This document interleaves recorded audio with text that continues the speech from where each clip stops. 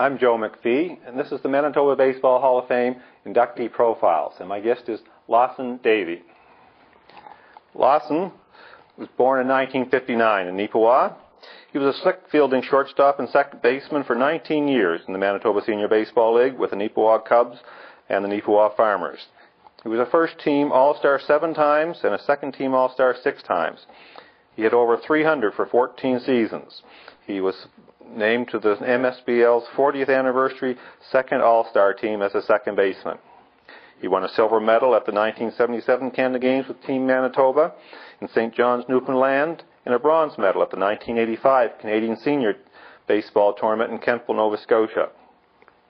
He later coached the Neepawa minor teams to three Manitoba titles and took the Bantams to the Western Canadians in 1999, and he took midget teams to uh, Alberta in 2002 and to Maple Ridge, BC in the same year. Lawson was inducted into the Manitoba Baseball Hall of Fame in 2008, and he was also named the Manitoba High Performance Coach of the Year for 2002. Welcome. So, tell me about your start in baseball, Lawson. My start, uh, my official start probably as soon as I could put on a glove or throw a ball. I don't know when Jimmy White and I started out on the farm. We were pretty pretty young. My official start was probably my first day of school when I was five years old. Uh, that's how I was so easy to get down. Uh, we were three miles, of course, from the country school, and school didn't matter, but I knew that's that's where the ball game was. So mom didn't have any trouble getting me to go to school. So that's that's where I uh, I guess cut my teeth playing ball was uh, in the country school uh, with, of course, some guys are quite a bit older, and uh, I think it was a good environment to uh, to learn the game mm-hmm. because you learn pretty quick, or you or you got hurt. Okay, let's put it that way. And when did you first begin to get some coaching? Uh, that would have been uh, well. We, actually, that was pretty young too. We had a, a little bit of a, a pee-wee uh, thing uh, going on in town. Wasn't real organized, but we went to a couple of tournaments when I was pretty pretty small. A recreational director at that time, I think, ran the team. Uh, as far as uh, little league, I think I started when I was nine. Uh, my dad was the coach. We actually uh, had two new teams in the little league. There had been four established teams, and uh, there was quite a influx of players, I guess. So we had two new teams started when when we went in. So we had an expansion team. Mm-hmm. Uh, at that time, the teams kept their players from year to year. So you ran into some fairly long-standing powerhouse, uh, especially if you got three or four sets of brothers uh, on one team. They, you could get a almost a dynasty there in the four years. So we started from scratch, but uh, by the last two years, I think in my last two years in Little League, we were the champions. So, but it was Dad that was actually started as my coach and and was for most of my minor hockey okay. or minor baseball. but you soon graduated to intermediate level. Uh, intermediate baseball. Yeah.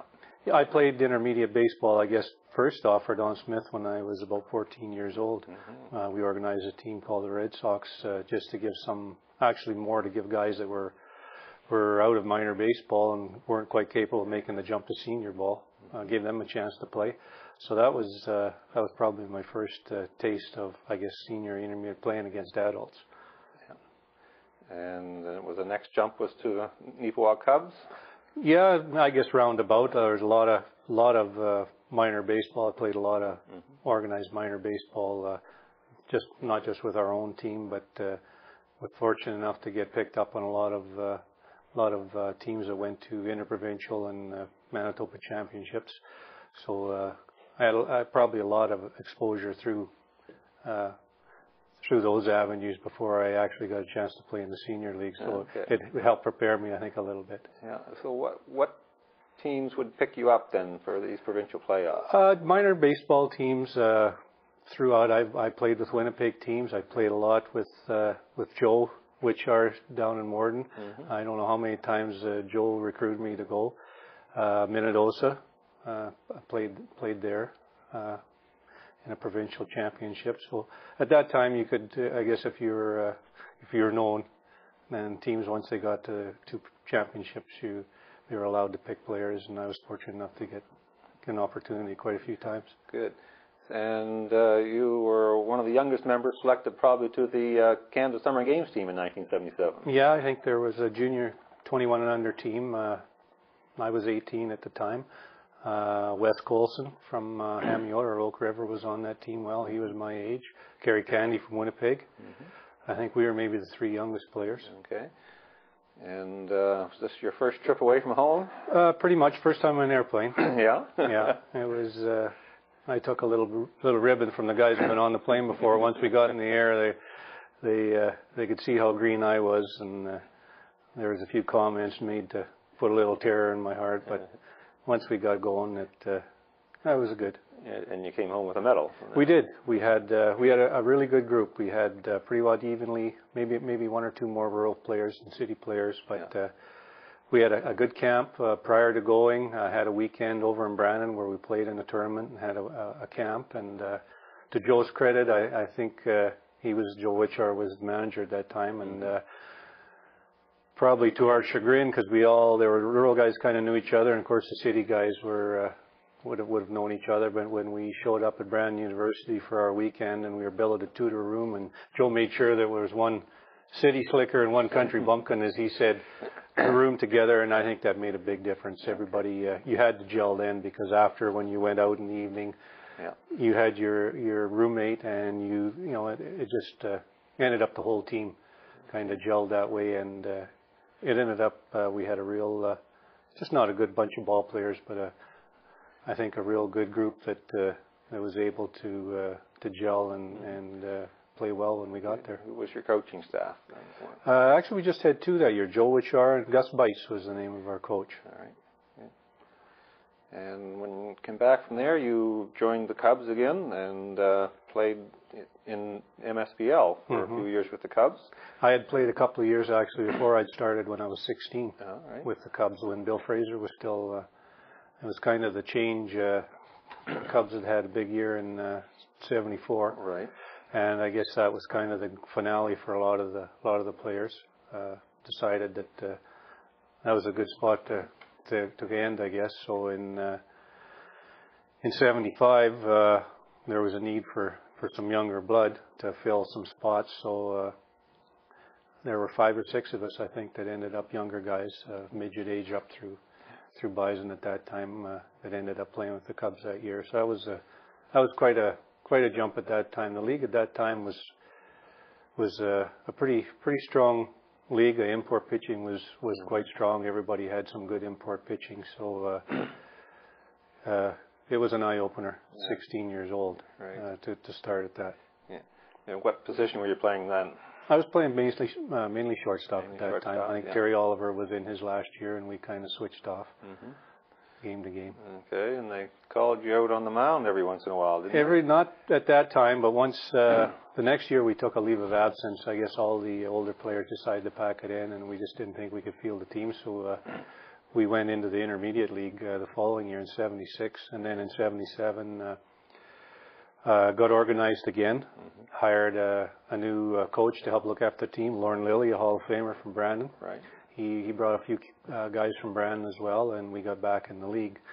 And uh, at that time, uh, we didn't have a lot of depth on pitching staff, so I had to, for the next few years, probably right into the few coup first couple of years of Farmers, I did do a little bit of pitching when when uh, when we looked down the bench, I guess, and there was nobody else.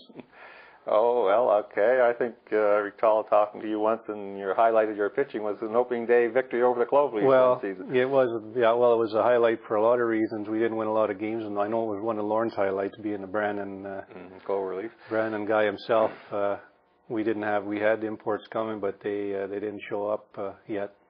So we basically went in with the local yokels into Kinsmen Stadium against a pretty good Brandon team at the time, and for whatever reason, whatever I was throwing, they weren't hitting it that day. And uh, yeah, it was a bit of a thrill. We came out of there with a win. What what pitches did you rely on? Uh, just fastball and curveball pretty Yeah. much at that Okay. time.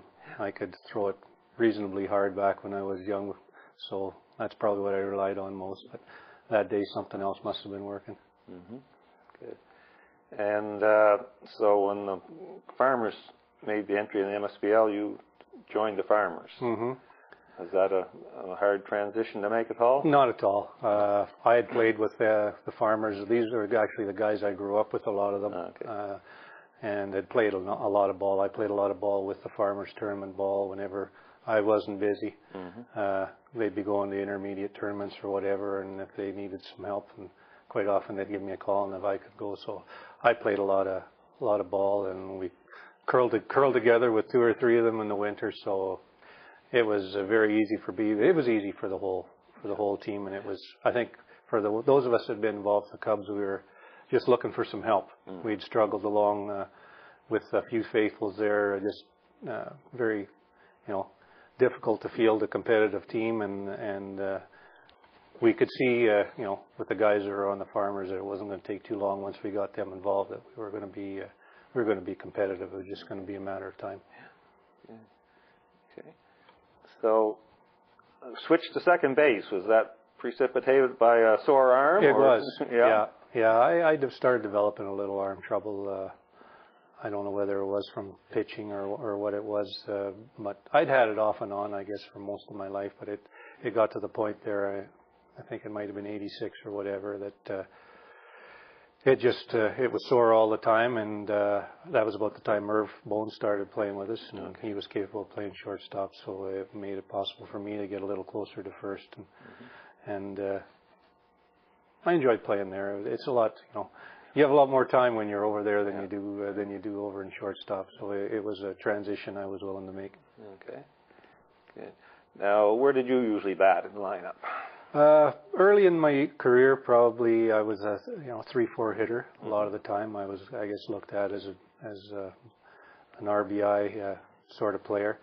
But uh, I think probably in the second or third year with the Farmers, uh, we kind of made a bit of a switch, and uh, I think Garth was struggling to find somebody to hit in the leadoff spot, and uh, I always had a reasonably good eye. Didn't mind taking a base on ball, so uh, we thought we'd give that a try, and uh, I ended up in the leadoff spot, and that's where I stayed.